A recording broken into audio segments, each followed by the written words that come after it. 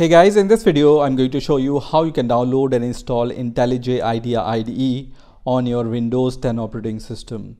So let's uh, start directly by uh, just knowing the prerequisites of installing IntelliJ IDEA. So just search for IntelliJ IDEA prerequisites on your uh, favorite browser and the first link which you will uh, see here will be from JetBrains so I'm going to just uh, click on the JetBrains link which is the company behind IntelliJ IDEA IDE. So here I can see there are two versions are available for IntelliJ IDEA IDE.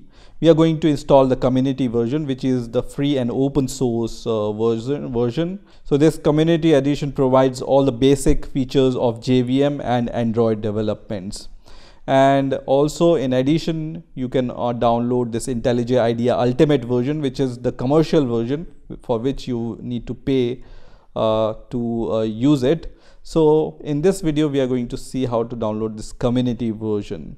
Now in the system requirements you can uh, see uh, the RAM requirements, disk space, monitor resolution and operating system requirements here and when I scroll down I can also see that you don't need to install Java to run IntelliJ IDEA because JetBrains runtime is bundled with IDE.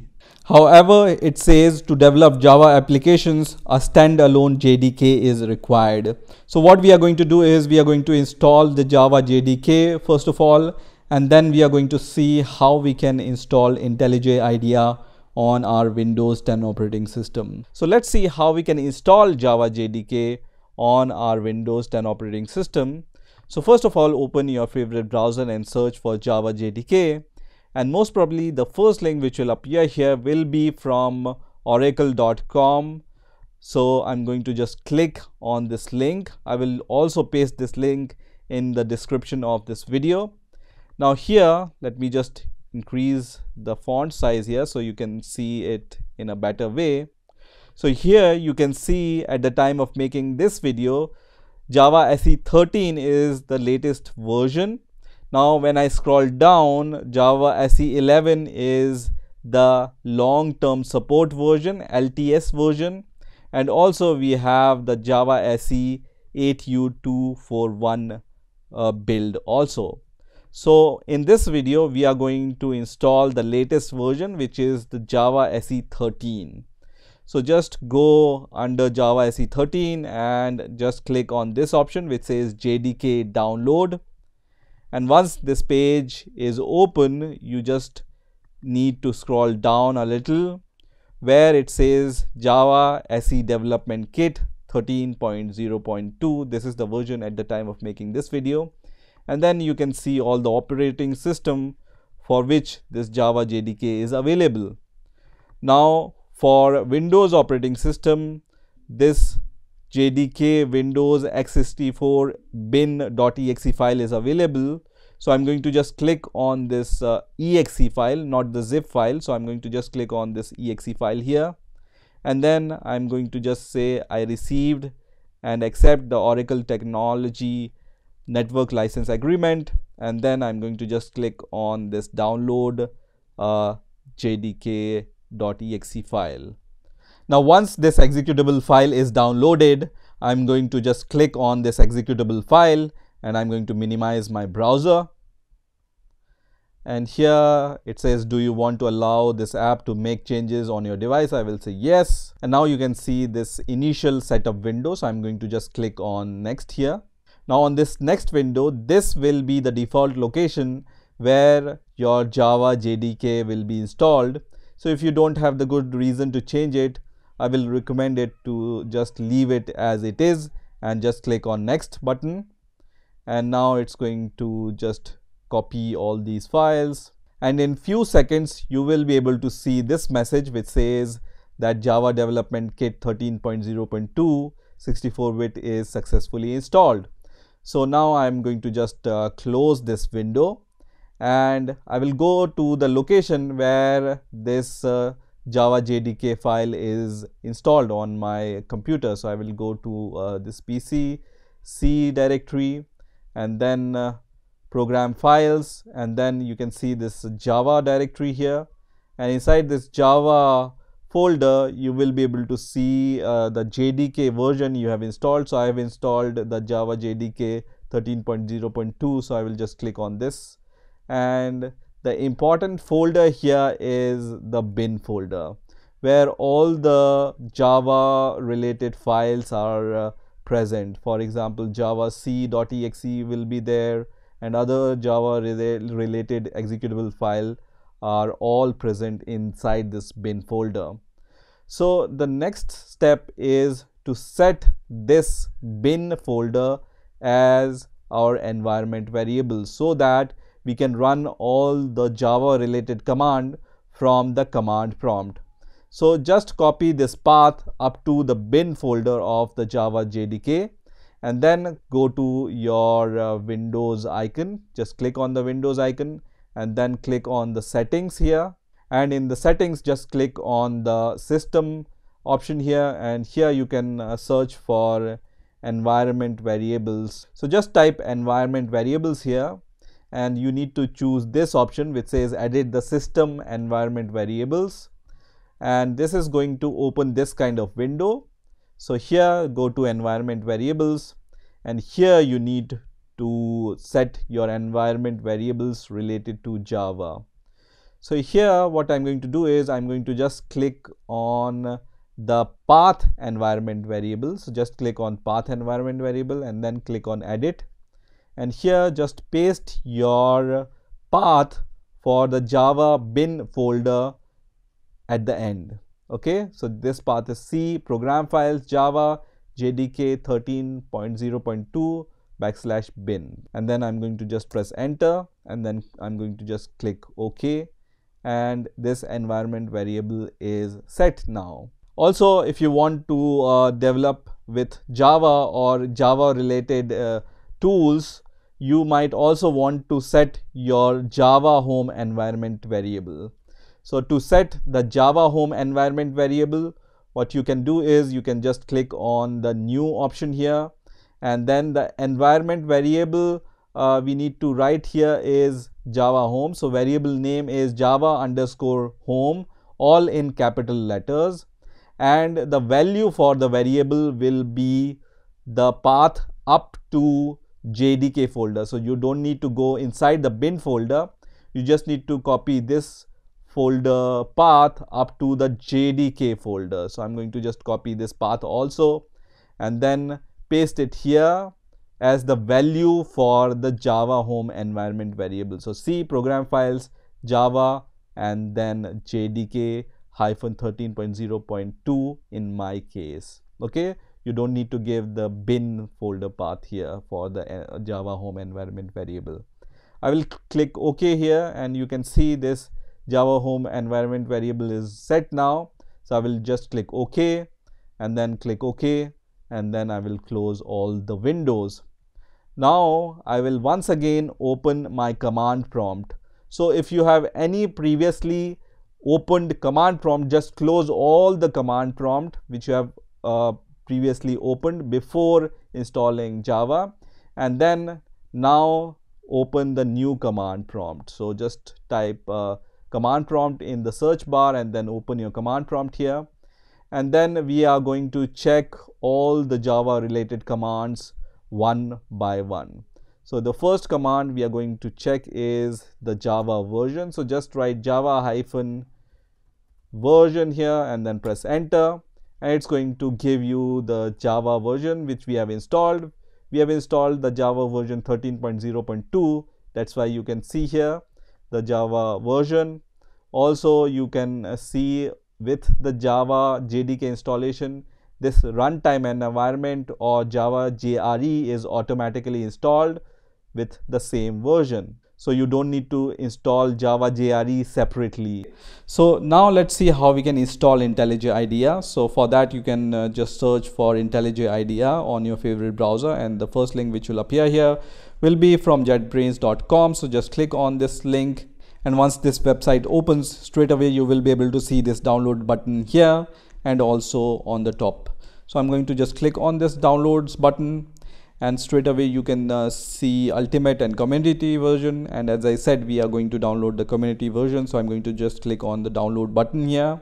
And after few seconds the download of this uh, IntelliJ IDEA IDE executable file will start. So this is around uh, 545 megabyte file. So it will take some time to download. So once this executable file is downloaded we are going to just click on this uh, executable file. And I'm going to minimize the browser and just click on yes here and this is the IntelliJ IDEA Community Edition setup window. So we are going to just click on the next button and this will be the location where uh, IntelliJ IDEA will be installed on your Windows 10 operating system. So if you don't have the good reason to change it, just leave it as default and click on the next button. And now you can uh, choose from these options. So in the first option, create desktop shortcut, I'm going to just choose the 64-bit launcher. The second option is update context menu. Yes, I want to do that also. And then the associations. So create associations. I can uh, just leave all these files uh, unchecked. If you want, you can uh, do that also. But I don't want to create those associations for now so I will leave everything as unchecked. And here update path variables which will require the restart of your uh, Windows operating system. So I'm going to just click on this option also which says add launchers dir to the path. Okay? So these are my options and then I'm going to just click on the next button. And then you will uh, see this kind of window. So just click on next button once again and the installation of IntelliJ IDEA IDE will start on your Windows operating system. So at this point, you just need to wait for uh, this progress to reach to the end. And now at this point, I can see uh, this window which says completing IntelliJ IDEA Community Edition setup. And there are two options here. First is reboot now and second is I want to manually reboot later so I can uh, just click on this option which says I want to reboot manually later. So I will just leave it as default and I will click on the finish uh, button here. And I can see this IntelliJ IDEA icon is created here on the desktop also. So let me just manually restart my Windows operating system first of all and then we are going to see how we can create our first Java project. So now I have restarted my Windows operating system and now I'm going to just click on the IntelliJ IDEA Community Edition icon. And when you click on this uh, icon the first window you will see here will be the JetBrains privacy policy uh, document window. So I will just check this checkbox and then click on the continue button. And on the second window it's asking me uh, my consent about the data sharing. So I don't want to share anything. So I will say don't send and now it starts the IntelliJ IDEA IDE. At this point you can choose uh, the theme. There are two uh, themes available here. First one is Darcula theme and other one is uh, the light theme. So for now I'm going to choose the light theme because for videos uh, it's better to use the light themes but for the development I definitely prefers the uh, Darcula theme okay so for the video purpose I will choose the light theme here. And then I'm going to just click on the next button. Here you can see uh, tune IntelliJ IDEA to your task. I will leave everything as default and then click on next. And on this next window I can see download featured plugin. So you can download and install these plugins anytime after the installation process also so for now I'm going to leave everything as default and I'm not going to install anything, any extra plugin and I will say start using IntelliJ IDEA IDE. So just click on this button and the IntelliJ IDEA IDE is starting and the first window you will see after installing the IntelliJ IDEA IDE is this window. So here you can uh, create a new project. So let's create a new uh, project and we are going to create a Java project. And now you can choose uh, the language in which you want to develop. So I am going to choose Java. By default the project SDK selected here is uh, Java 13 because I have already installed Java 13 on my Windows operating system separately. If you haven't installed uh, JDK, you can also download the JDK from here by just clicking on uh, these options. Okay. Or you can add the JDK if you have the path of the JDK uh, files and folders. Okay. So by default, whatever Java version you have, it will be selected by default here and then I'm going to just click on the next button. Now in here I'm going to just click on the create project from template and I only have one option here so I will leave it as default and then click on next. And now I can uh, give the name to my project. So I'm going to just give the name uh, hello to my project and then click on finish. Once you click on finish it's going to create all the project uh, templates for you on your IntelliJ IDEA IDE and I'm going to minimize this browser. Uh, IntelliJ IDEA IDE gives tip of the day when you start IntelliJ IDEA IDE. So I'm going to just click on the close button here. And you can see this file is created by IntelliJ IDEA for us. If you want to see the project view, just click on this project option here. And you will be able to see your project structure inside your project. So here we have the source file and inside uh, the source file we have this package. And then we have this class here so let's try to print something. We already have our default main method created by IntelliJ IDEA. So I'm going to just uh, remove this comment and I will just type s out here okay? So IntelliJ IDEA have these uh, cool uh, short keys using which you can uh, write your code. So S out is for system out print line and then press tab key which is going to just give you this code. And inside these parentheses I can uh, just write uh, hello world here. And once you uh, have your print line statement you can run your project by just right clicking on the file itself and then click on the run main uh, button okay? So for the first time you can just uh, right click on uh, the file itself and run main button. And once it runs for the first time next time you will be able to run uh, this file from here also. Okay? So I can uh, just do it again from uh, this button. It's going to compile and run your Java project. I can just change this output and then run this code once again.